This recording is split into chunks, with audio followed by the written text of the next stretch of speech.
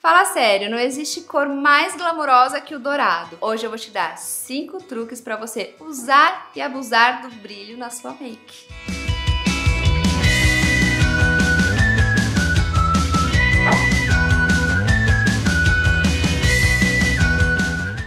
Número 1. Um. Se você é mais clássica e não gosta muito de usar brilho, tem vontade de usar dourado, não sabe como, é só você usar no canto interno como um ponto de luz. Isso vai fazer com que abra mais o seu olhar e também você fique com menos aspecto de cansada. Truque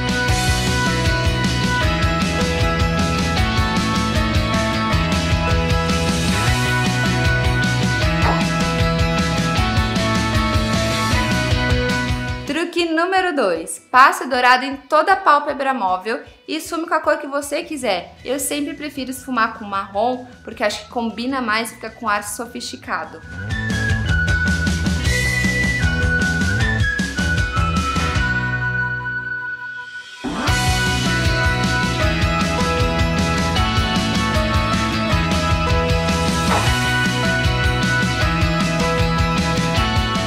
Truque número 3. Use o dourado como iluminador no alto das têmporas para você ficar com aquela pele mais radiante de um milhão de dólares.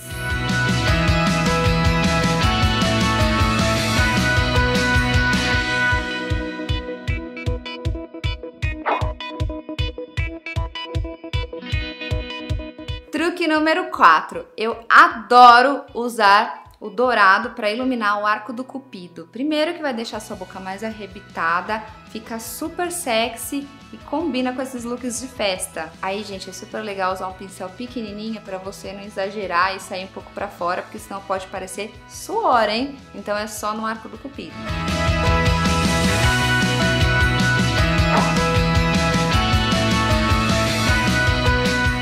Truque número 5. Usa o dourado dando umas batidinhas no centro dos lábios. Isso depois que você passar o batom cor de boca. Vai ajudar a dar uma sensação de volume para os lábios. E se você quiser mais volume ainda, você pode aplicar um gloss só no centro.